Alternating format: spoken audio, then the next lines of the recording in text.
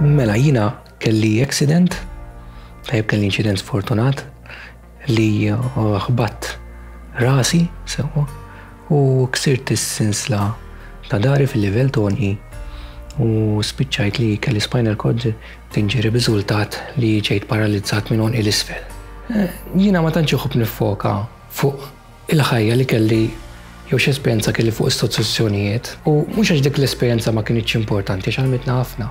Tajjeb, imma li nħobb niffoka huwa jiena x'qed nagħmel illum. U bħala persuna li illum għandi paraliżi minn għonqi 'l isfel, qed nagħmel ħafna affarijiet li lanqas kont nimmaġina li persuna paralizzat minn għonqu 'l isfel, jista' jagħmilhom. U fir-realtà għalija l-istituzzjoni mhuwiex xi bini. Tajjeb? L-istituzzjoni hija dik. Li inti bħala persuna li ġejt paralizzat minn unuqok l-isfel, tajjeb? M'għandekx is-servizzi madwarek biex tkompli tgħix ħajtek. Għax l-istituzzjoni naħseb jien iktar milli hija bini, tajjeb?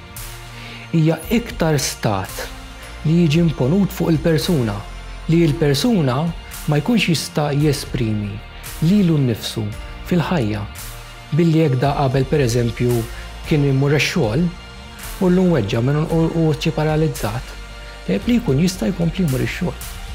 U dan jista' jsir billi inti tiġi jkollok assistent jew assistenta miegħek. Ġifieri dik il-persuna li inti tgħinek tinteraġġixxi mal-ambjent ta' madwarek. Naħseb jien irridu nagħmlu eżerċizzju ta' riflessjoni bħala pajjiż u ngħidu x'għandna nieqes aħna u npoġġu bilqiegħda niddiskutu u naraw x'nistgħu nagħmlu biex kull persuna fil-soċjetà tagħna jista' jilħaq il-milja tiegħu.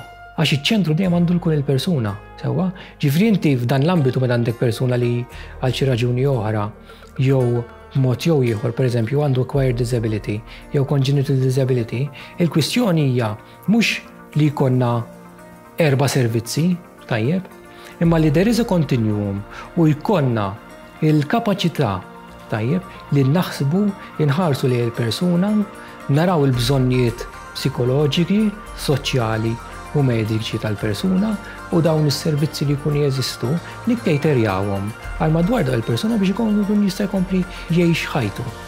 Pereżempju inti fil-istituzzjoni tal-ħabs x'jagħmlu? Kulħadd l-istess f'dan il-ħin ma tistax toħroġ hekk. Ara f'daqqa waħda there is what's called fil-psikoloġija Mortification of the self, fejn il-persuna inti qed toqtollu hu min hu. U lil dawk ngħidlhom il-persuni b'diżabilità li jkunu f'sitwazzjoni simili bħal tiegħi, irraġunaw. Agħmlu assessment tas-sitwazzjoni tagħkom. U toqgħodix tibiżgħu. Agħmlu d-domandi lilkom infuskom, jiena nista' nkompli ngħix? Jekk le, m'għandek xejn x'titlef.